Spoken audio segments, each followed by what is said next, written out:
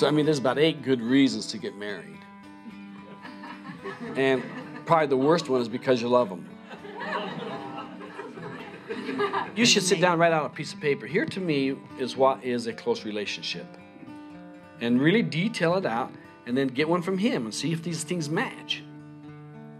A, a close relationship to him might be uh, after two years after we're married, you sit in your chair over there, and I sit here, and we both watch football on Monday night. You're going, You're nuts. We both sit in the same chair. And he goes, Okay, we'll get a couch.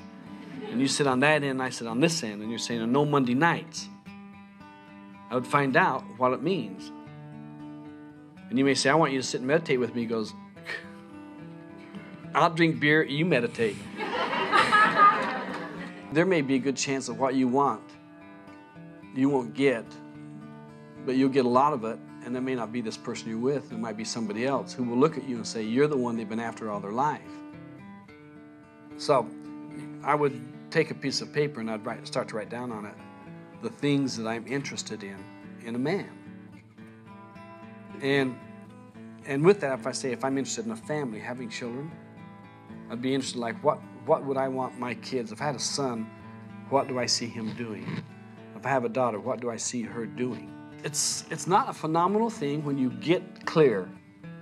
When your intention is very clear, the, the clearness of it takes you to where you can find these people. You understand the difference in that? So the conditioning is variable.